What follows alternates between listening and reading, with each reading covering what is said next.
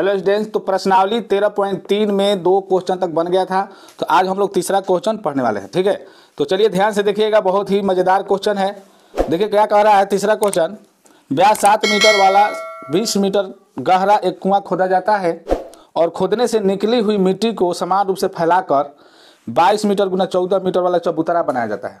जैसे एक चबूतरा बनाया गया है 22 मीटर गुना चौदह मीटर, बहुत बड़ा चबूतरा बनाया गया है। तो कह रहा है कि इस चबूतरे की ऊंचाई ज्ञात कीजिए। देखिए, इसमें फिगर नहीं भी बनाइएगा तो कोई दिक्कत नहीं है।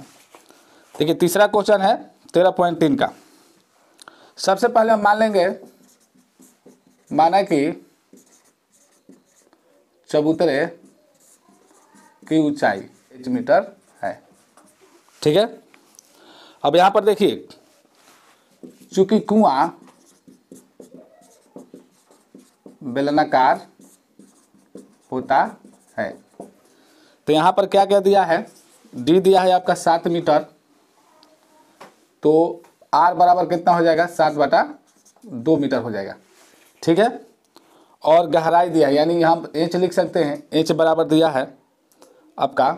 यहाँ पर एच वन मान लीजिए, या इसको एच टू मान सकते हैं। ठीक है? इसको एच वन मान लीजिए, बीस मीटर। क्योंकि चबूतरे की ऊंचाई ज्ञात करें तो इसको एच टू मान लेते हैं, और कुआँ का जो गहराई है, उसको हम एच वन मान लेते हैं, ठीक है? क्योंकि कुआँ बेलनाकार है, इसलिए ये बेलन के सूत्र पे चलेगा।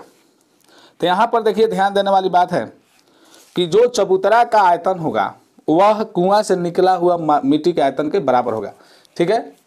तो हम यहाँ लिख देंगे, इसलिए चबूतरे का आयतन बराबर कुआँ से निकाली गई मिट्टी का आयतन। ठीक है? अब देखिए, चबूतरा कैसा होता है? घना घनाभकार लंबाई गुना चौड़ाई गुना ऊंचाई। तो लंबाई चौड़ाई दिया हुआ है, हम डायरेक्ट लिख देंगे 22 मीटर गुना 14 मीटर और गुना हमने माना है एच टू मीटर। यही हमको निकालना है। और कुआँ से निकला है तो यानी कि कुआँ बेलनाकार होता है, इसलिए हम बेलन का आयतन लिख देंगे। पाई आर स्क्वायर एच, अब यहाँ पर क्या है? वन। एच वन लिख देंगे, कोई दिक्कत नहीं। यहाँ पर देखिए, बाईस गुना चौदह मीटर हटा देते हैं, कोई दिक्कत नहीं। एच टू लिख देते हैं। अब यहाँ पर देखिए, बाईस बटा क्या हो जाएगा? सात। क्योंकि पाई का मान बाईस बटा सात ही लेना है। यहाँ पर देखिए आर आर कितना है? सात बटा दो। पावर में दो है तो इसको दो बार सिंपल रूप से लिख देंगे। कोई दिक्कत नहीं। कोई दिक्कत होगा तो बोलिएगा। एच वन का मान है बीस। ठीक है? बराबर के इस साइड और इस साइड हो तो ऊपर ऊपर को कटा देते हैं। ठीक है? यहाँ पर देखिए, सात से एक कटेगा, सात दूनी चौदह।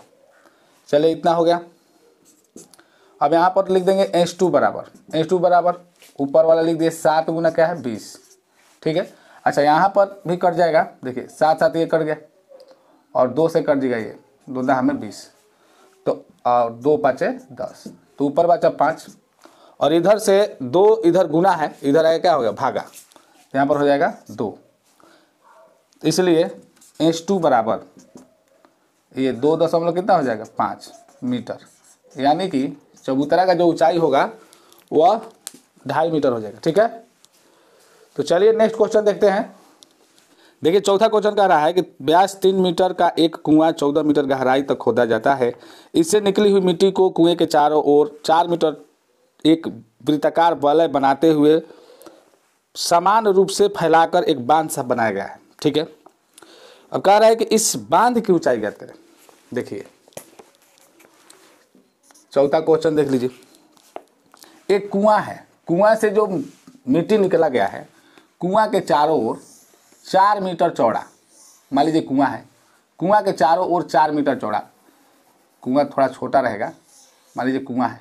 यहाँ से चार मीटर चौड़ा जो है, ये चार मीटर चौड़ा बाँध बनाया गया है, पूरा ऊपर तक।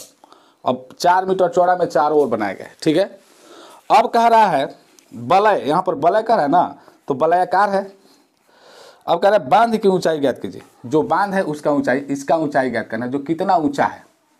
और यहाँ पर जो ब्यास दिया हुआ है, इसका व्यास दिया हुआ है तीन मीटर। ठीक है? और यहाँ पर इसका त्रिज्या कितना हो जाएगा? यहाँ से यहाँ तक कितना हो जाएगा? डेढ़ मीटर हो जाएगा। कहने का मतलब है कि पूरा तीन है तो यहाँ से यहाँ तक कितना होगा? डेढ़ ना होगा। ठीक है? तो यहाँ पर हम लिखेंगे, माना कि वलयाकार बाँध की ऊंचाई एस टू ठीक है? मीटर है। मीटर में है तो मीटर है, मान लेंगे। ठीक है? अब यहाँ पर जो दिया है कुआँ, कुएँ की गहराई, यानी एच वन कितना है? चौदह मीटर। ब्यास डी कितना है? तीन मीटर इसलिए आर वन आर वन बराबर हो जाएगा एक दशमलव पाँच मीटर। क्योंकि ये तीन है तो डी जो है व्यास त्रिज्या से दोगुना होता है तो उसके आधा होगा त्रिज्या। अब यहाँ पर देखिए अब ये जो वलय सहित जो इस कुआँ का जो त्रिज्या होगा वो कितना हो जाएगा? तो हम लिखे क्योंकि हमें पूरा नहीं निकालना है ये कुआँ वाला छोड़कर बाकी चीज़ ये वलय वाला निकालना है। तब ना निकलेगा इसका ऊंचाई ठीक है? तो यहाँ पर देखिए, इस आर वन माने तो इसको क्या मानेंगे? आर टू मानेंगे तो आर टू कितना हो जाएगा? आर टू हो जाएगा आपका एक दशमलव पाँच, आप प्लस में ये जो चार है, इसको हम इसमें ऐड कर लेंगे। तो पाँच दशमलव पाँच में देखिए, सबसे पहले हम यहाँ पर क्या करेंगे? यहाँ पर हम सबसे पहले जो कुआँ का, जो कुआँ से निकला हुआ मिट्टी है, उसका आयतन हम पहले निकाल लेते हैं, ठीक है? तो हम कुआँ से निकली हुई मिट्टी का आयतन हम पहले निकाल लेंगे। तो हो जाएगा, इसलिए कुएँ से निकाली गई मिट्टी का आयतन। बराबर क्या हो जाएगा? Pi R one square H one ठीक है? पाई का मान बाईस बटा सात।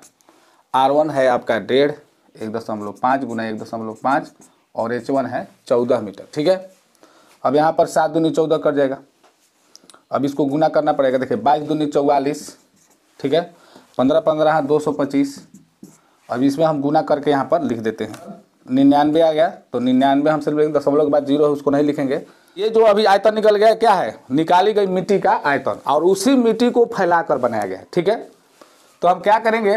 यहाँ पर देख लीजिए। इसलिए बाँध का आयतन बराबर मिट्टी का आयतन। ठीक है? बाँध का आयतन क्या हो जाएगा? बाँध का आयतन हम क्या करेंगे? बाँध का आयतन निकालने के लिए कुआँ सहित, हमने यहाँ पर बलय सहित जो है, कुआँ का त्रिज्या निकाल लिया है। तो टोटल में से, जब टोटल में से मान लीजिए यहाँ पर कुआँ नहीं है तो टोटल में से उसका आयतन जो कुआँ वाला है, हम घटा देंगे तो आराम से बाँध का आयतन निकल जाएगा। तो यहाँ पर हम लिख देंगे pi R two square S two minus pi R one square S two. बराबर मिट्टी का आयतन कितना आया है? निन्यानवे। ठीक है? अब यहाँ पर पाई कॉमन हो जाएगा और एस टू कॉमन हो जाएगा। तो R two square minus R one square बराबर निन्यानवे हो जाएगा। यहाँ पर देखिए पाई एस टू। अब यहाँ पर एक फॉर्मूला आप लगा सकते हैं। A square minus B square. तो क्या होता है? A plus B into A minus B. हम उस सूत्र को लगा सकते हैं। तो A plus B into A minus B simple रूप से। इसको लिखते जाएँगे। यहाँ पर देखिए, अब हम यहाँ पर मान रख सकते हैं। तो यह हो जाएगा बाईस बटा सात गुना एस टू। एस टू का मान निकालना है हमें, क्योंकि बाँध की ऊंचाई एस टू माने हैं, ठीक है? आर टू, अब आर टू अच्छा यहाँ पर हाँ ठीक है। आर टू का मान कितना है? पाँच दशमलव पाँच प्लस एक दशमलव पाँच आर वन एक दशमलव पाँच है और आर टू है पाँच दशमलव पाँच। अच्छा यहाँ पर देखिए पाँच दशमलव पाँच माइनस एक दशमलव पाँच, बराबर नाइन्टी नाइन। देखिए यहाँ पर बाईस बटा सात गुना एस टू अब ये क्या हो जाएगा? इसको हम जोड़ देंगे तो कितना हो जाएगा? ज़ीरो, पाँच छः सात, और गुना हो जाएगा इसमें चार से, ठीक है? बराबर निन्यानवे। अब देखिए, ये पूरा गुना हो गया। यहाँ पर गुना लिख सकते हैं, कोई दिक्कत नहीं है। यहाँ एस टू बराबर लिखिए, बराबर निन्यानवे, ठीक है? और ये जो नीचे है, वो चल जाएगा ऊपर, और ऊपर है जो नीचे आ जाएगा। और ये हो जाएगा सर चौक अट्ठाईस, यहाँ पर हम गुना अट्ठाईस लिख सकते हैं। अब देखिए क्या होगा। ग्यारह दूनी बाईस ग्यारह नवा निन्यानवे। एच टू बराबर सात नवा तिरसठ बटा दो, और ये अट्ठाईस जो है, इसमें क्या है? गुना है, इधर आके भागा हो जाएगा, यानी कि नीचे आ जाएगा, ठीक है? यहाँ पर देखिए, सात चौक अट्ठाईस, सात नवा तिरसठ, यानी कि हो जाएगा नौ बटा चार दूनी आठ। अब यहाँ पर एच टू बराबर देखिए क्या हो जाएगा? अब आठ से इसमें भाग कर देंगे, आठ दस, आठ इकाई आठ, एक बच्चा तो हो गया दस, ठीक है? फिर हो जाएगा आठ इकाई आठ, दो बच्चा तो बीस हो गया, आठ दूनी सोलह ठीक है? तो बच गया चार, हो गया चालीस और आठ, पाँच, चालीस। यानी कि एक दशमलव एक दो पाँच मीटर। ठीक है? तो ये हो गया आपका बाँध की ऊंचाई। तो यहाँ अगर मान लीजिए आपको समझ में नहीं आ रहा होगा तो इसको ध्यान से देखिएगा, आपको समझ में बिल्कुल आ जाएगा। यहाँ पर ये फार्मूला लग गया A square minus B square वाला, कोई दिक्कत नहीं है। अगर आपको फार्मूला नहीं लगाना है तो आर टू का मान रख दीजिए पाँच दशमलव पाँच स्क्वायर कीजिए, फिर माइनस कीजिए, एक दशमलव एक लिखिए, फिर उसका स्क्वायर कीजिए तो उसमें थोड़ा ज़्यादा मेहनत पड़ता और ऐसे कर देने से आराम से ये बन जाता है। तो चलिए नेक्स्ट क्वेश्चन देखते हैं। देखिए, पांचवा क्वेश्चन व्यास 12 सेंटीमीटर ऊंचाई 15 सेंटीमीटर वाले एक लंब वृत्तीय बेलन के आकार का बर्तन आइसक्रीम से पूरा भरा हुआ है। तो यहाँ पर देखिए, एक है बर्तन पूरा बड़ा, ठीक है? और इसमें आइसक्रीम भरा हुआ है। ठीक है? पूरा भरा हुआ है आइसक्रीम, पूरा ऊपर, नख नख है। अब कह रहा है कि इस आइसक्रीम को ऊंचाई 12 सेंटीमीटर और व्यास 6 सेंटीमीटर वाले शंकु में भरा जाना है, जिनकी ऊपरी सिरा अर्धगोलाकार है। इसको ऐसे शंकु में भरना है, ठीक है? और ये जो है, इस प्रकार से है। मान लीजिए जो आप लोग खाते होंगे, इस प्रकार से रहता है। शंकुआकार और इसमें भरना है, पूरा ऊपर तक। ऊपर जो है अर्धगोलाकार है। इसकी ऊंचाई है 12 सेंटीमीटर। इसकी ऊंचाई जो है 12 सेंटीमीटर, यानी कि पूरा ऊंचाई जो है 12 सेंटीमीटर है। और इसकी त्रिज्या कितना है? व्यास है 6 सेंटीमीटर। व्यास कितना है? 6 सेंटीमीटर। ठीक? और यहाँ पर ऊपर जो दिया है, इसका व्यास है आपका 12 सेंटीमीटर। और ऊंचाई दिया है 15 सेंटीमीटर। चलिए। पांचवा क्वेश्चन। दिया है बेलनाकार बर्तन की ऊंचाई। इसको एच वन मान लीजिए। पंद्रह सेंटीमीटर हो गया। डी दिया है बारह सेंटीमीटर। यहाँ पर आर वन मान लीजिए छः सेंटीमीटर हो जाएगा, ठीक है? डी यानी कि व्यास दिया है बारह सेंटीमीटर तो आधा हो जाएगा त्रिज्या। यह ध्यान रखिएगा इस बात का। आइसक्रीम चूँकि ये लिखना बहुत ही ज़रूरी है, ठीक है?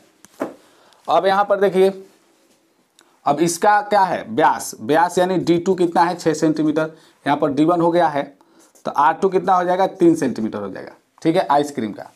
और यहाँ पर एच टू कितना हो जाएगा? बारह सेंटीमीटर ये सारा कुछ हमने लिख दिया।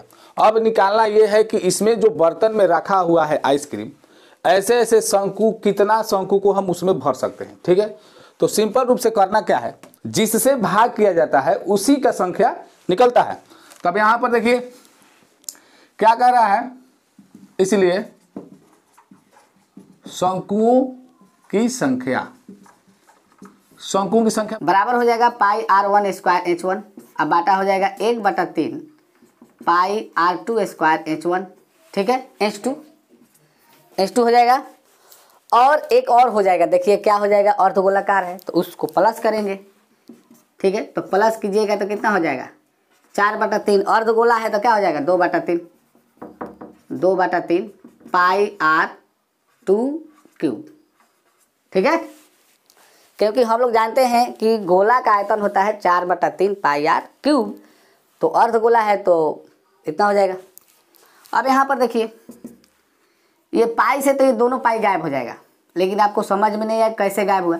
तो देखिए, इसको हम एक बार ऐसे लिख देते हैं, pi R one square H one, ठीक है?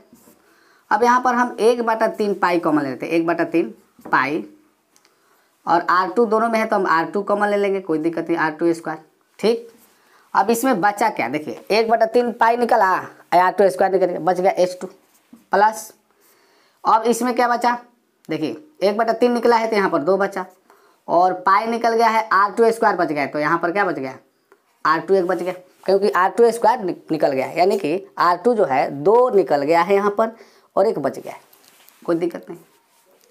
यहाँ से पाई पाई खत्म हो जाएगा। अब आर वन का मान रखेंगे। आर वन का मान देखिए छः है। तो यहाँ लिख देंगे छः गुना छः एच वन हो गया आपका पंद्रह। ठीक? एक बटा तीन, आर टू। आर टू का मान कितना है? आर टू का मान यहाँ से देख लेंगे, तीन गुना तीन है, तीन गुना तीन। और यहाँ पर एच टू एच टू है बारह, प्लस दो गुना आर टू। आर टू है तीन। ठीक? यहाँ से देखिए कट जाएगा तीन दूनी छः तीन दूनी छः बस इतना रहने दीजिए। दो दूनी के चार चार गुना लिख देते हैं, पंद्रह। बाटा। एक बाटा तीन। अब यहाँ पर देखिए क्या हो जाएगा, बारह और तीन दूनी छः बारह छः अठारह। यहाँ पर हम लिख देते हैं अठारह। तीन दूनी छः बारह, अठारह। यहाँ कोष्ट मैंने गुना कर देंगे। यहाँ पर इसको नीचे नीचे यहाँ पर इसमें कटा सकते हैं, तीन छः अठारह। यानी कि छः हो जाएगा। ठीक है? चलिए थोड़ा सा यहाँ देख लेते हैं। ये हो गया आपका पंद्रह चौका साठ और यहाँ पर नीचे बच गया छः। ठीक है? छः से कट जाएगा आराम से, छः दहा में साठ। यानी कि दस। दस हो जाएगा आपका आंसर शंकुओं की संख्या। ठीक है? तो ध्यान से देखिएगा। मैं उम्मीद करता हूँ आप लोग को समझ में आ गया होगा। तो चलिए नेक्स्ट वीडियो मिलते हैं। जय हिंद, जय भारत।